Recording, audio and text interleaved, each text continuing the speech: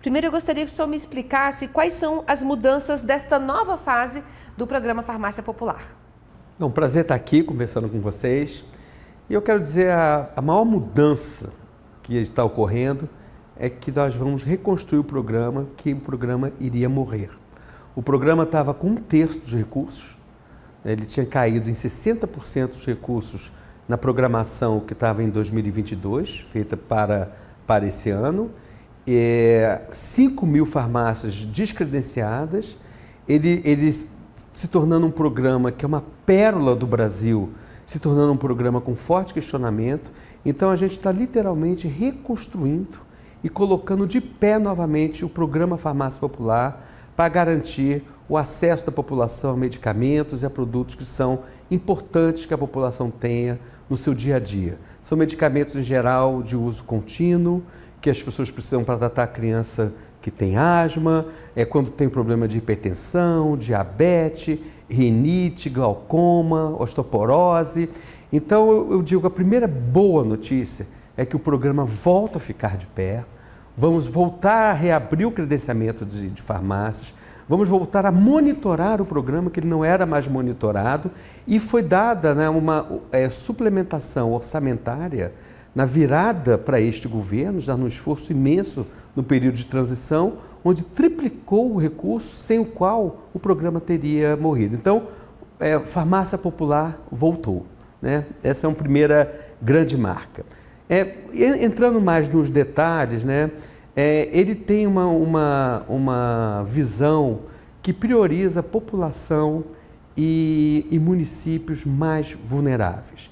Então, a partir de agora, toda a população beneficiária do Bolsa Família, que antes só tinha acesso gratuito é, para três doenças, né, é, diabetes, hipertensão e asma, agora passa a ter acesso gratuito às 11 necessidades, às 11 doenças e necessidades é, que estão contempladas pelo, pelo programa. Então, se a pessoa tiver um problema de Parkinson, tem acesso gratuito problema de glaucoma, tem acesso gratuito, necessidade de medicamento para tem acesso gratuito, rinite, tem acesso gratuito.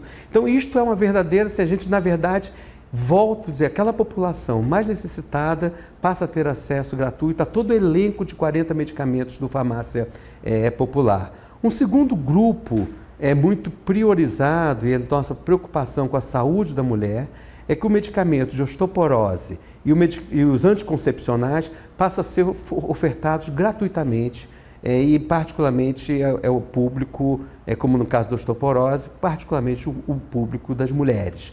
Então houve também essa preocupação, eles eram medicamentos que tinham copagamento, se pagava em torno de 50% do valor, eram pagos pelas mulheres e agora passam a ser integralmente é, gratuitos. A gente volta a reabrir o programa, o credenciamento de farmácia naqueles municípios mais vulneráveis dos mais médicos. Então, aqueles municípios que têm o programa Mais Médico, ah, vai haver uma priorização e abertura já imediata para o credenciamento de novas farmácias.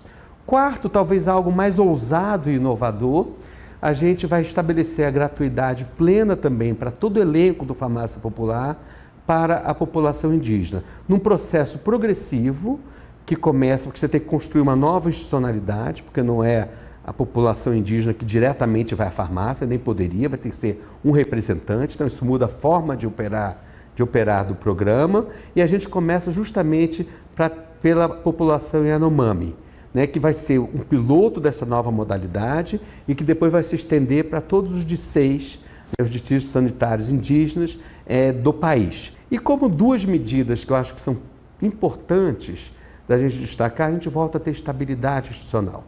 O, o, programa tinha perdido 5 mil farmácias, nós vamos recuperar de 30 mil, vamos avançar para retomar para 35 mil farmácias.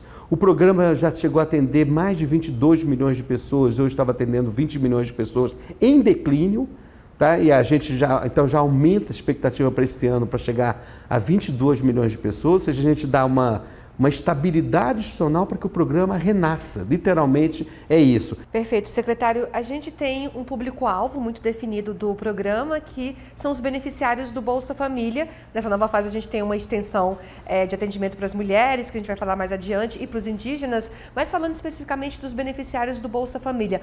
Para ter acesso a esse novo farmácia popular, ele vai precisar fazer algum cadastro? Como é que vai ser o procedimento?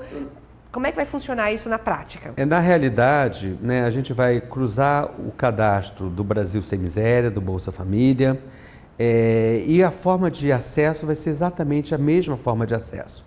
Na medida em que ele tiver o cadastro é, como beneficiário do Bolsa Família, ele vai ter que apresentar a sua receita médica, o, a sua, o seu documento de identidade e ter acesso ao medicamento como ele já teria é, com os outros medicamentos em que ele. Só, a diferença é que ele não pagará mais nada.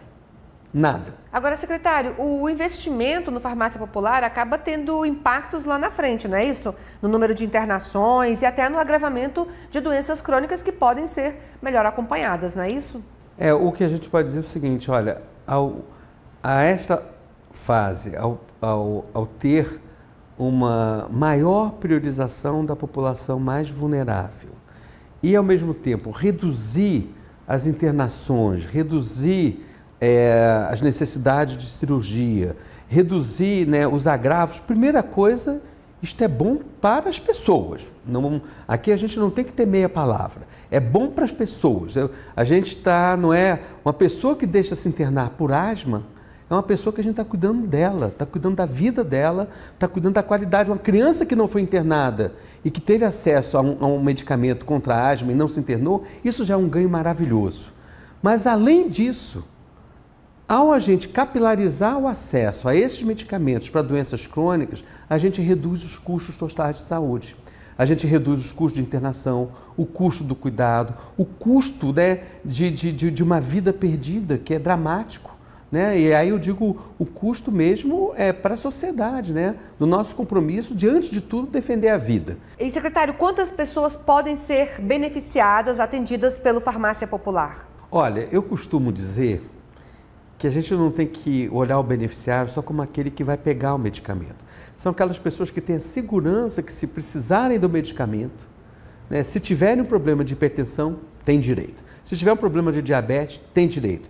Se forem acometidos com mal de Parkinson, tem direito. Só no Bolsa Família, 55 milhões de pessoas passam a ter direito ao acesso gratuito a todo o elenco do Farmácia Popular.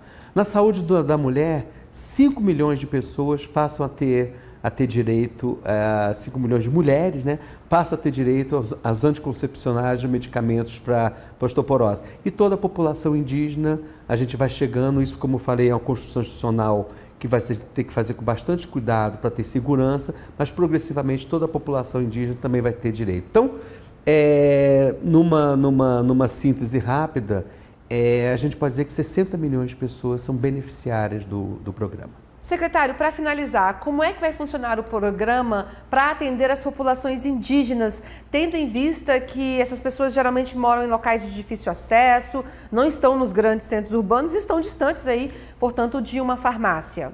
A ideia é que a gente vai organizar nos distritos sanitários, nos de seis, né, os distritos de saúde indígena, né, a gente vai organizar onde um representante aonde ele vai ser responsável, inclusive legalmente, ele vai ser, ele vai ter como se fosse uma procuração para pegar os medicamentos na farmácia popular e poder levar para a sua comunidade.